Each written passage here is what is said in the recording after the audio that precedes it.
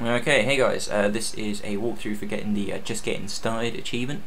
Uh, it's actually not, you know, it's not too tricky to do. Um, all you have to do is complete a, a challenge for a campaign mission.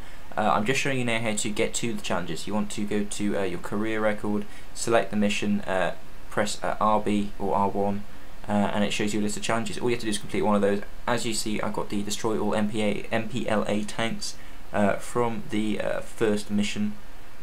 Uh, so yeah, um, I'll, I'll, show you how to do that now. Um, but basically, just complete any one of these, and um, yeah, and that's it. The achievement should pop. Uh, it's a you know pretty easy 10G. Just do it whilst uh, whilst in in the game.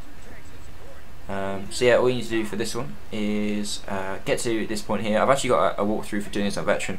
Uh, if you're really stuck, but you know it's it's you know first mission is ridiculously easy.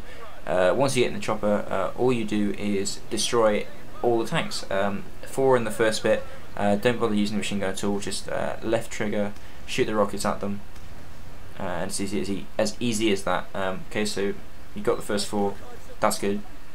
Uh, just skipping through this bit. Fair one. So uh, a few minutes time you'll get the option to go back in the chopper, uh, do that and destroy the remaining I think four tanks initially.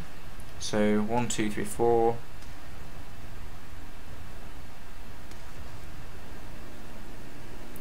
Uh, then the pilot does another pass and you have to take out a further five, I think.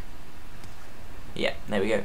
Uh, so yeah, not particularly tricky at all really. Um, it also helps towards um, getting the points for another achievement. You have to get like 10,000 points in each mission.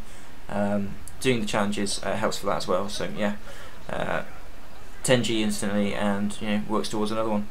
Uh, so yeah, that's that's pretty much it. I'll just show you the achievement popping there at the end of the mission um, yeah, I hope I helped. Uh, thanks for watching. Check out my other uh, Black Ops vids, uh, and I'll see you next time.